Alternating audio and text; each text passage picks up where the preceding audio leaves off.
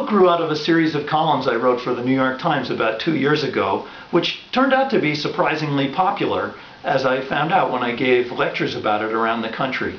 Let me show you this example in case you hadn't seen these columns. I, maybe just to calibrate the audience, it could be helpful.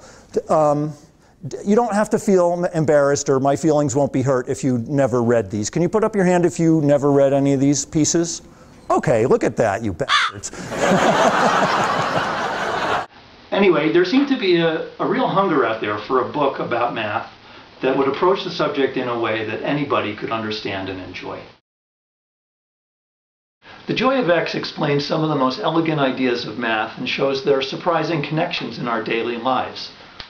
We'll see how Michael Jordan's dunks can help explain the fundamentals of calculus.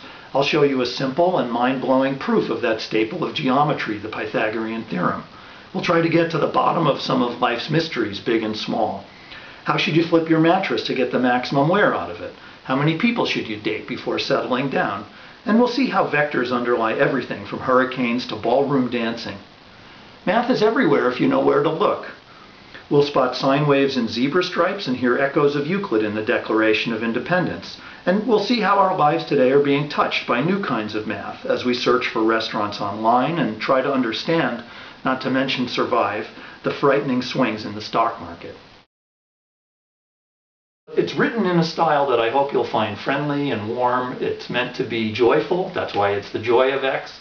And uh, I'm trying to connect math to really everything that's out there, from philosophy to business. Okay, that's all the time we have. Please buy this book, The Joy of X by Steven Strogatz.